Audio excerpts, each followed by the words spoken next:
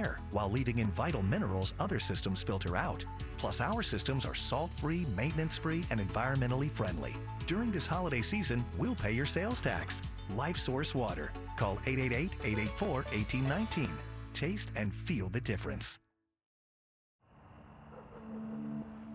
Every day, over 100 Americans die from secondhand smoke.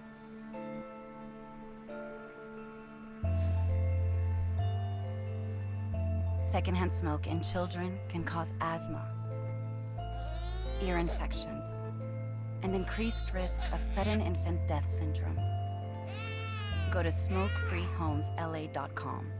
Learn how you can protect your home from secondhand smoke. Live from the CBS Broadcast Center in Los Angeles, this is CBS 2 News at 11 a.m. Now at 11, let's look live at LAX. Holiday travel traffic is picking up with just two days to go before Thanksgiving. It is a little better than this morning, though, I'll say that. Welcome back to CBS 2 News at 11 and streaming on CBS in LA.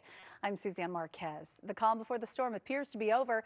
People are starting to pack the airport. CBS 2's Tina Patel has been in the thick of it all day.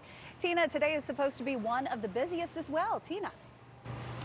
Yes, that's right, Suzanne. It is not quite as busy as it was during the holidays pre-pandemic, but it is a lot busier than it has been here at the airport, which is why passengers are being asked to plan ahead and get here early.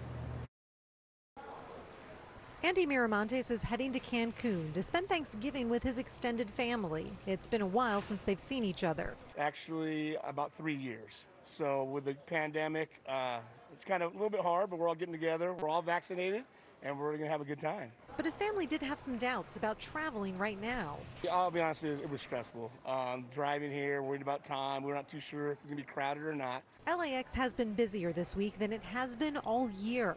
About 2 million people are expected to pass through the airport over the holiday period, double the amount from last year. TSA increased its staffing, and so far they've been able to handle the load. Over the last few days, our longest wait time has been 17 minutes at any checkpoint in the airport. We try to keep it under 20. I know no one likes to wait. I don't like to wait, but that is a reasonable amount of time to come when you consider you're here on the busiest day of the year. Airport officials are offering these tips to make traveling as easy as possible.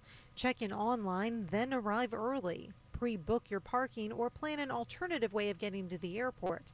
Make sure you know the COVID requirements at your destination and bring your face mask. The airport is going to be busy when you show up. You're going to see lots of folks. So the more you can prepare before you get here, the easier the experience will be.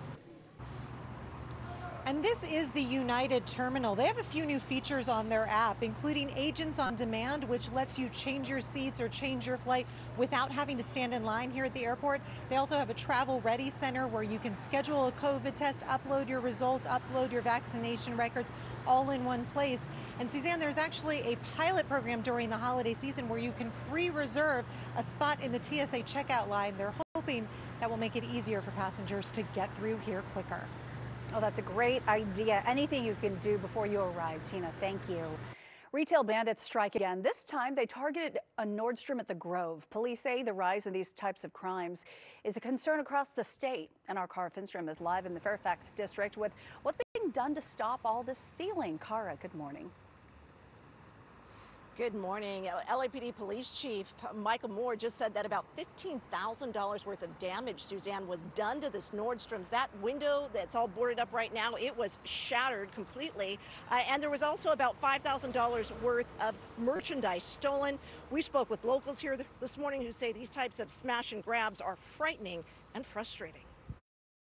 It's not cheap to live in this city and to worry for your safety, you know, something that's five blocks away from where I sleep is uh, pretty pretty stressful. Peter Getty is talking about last night's smash and grab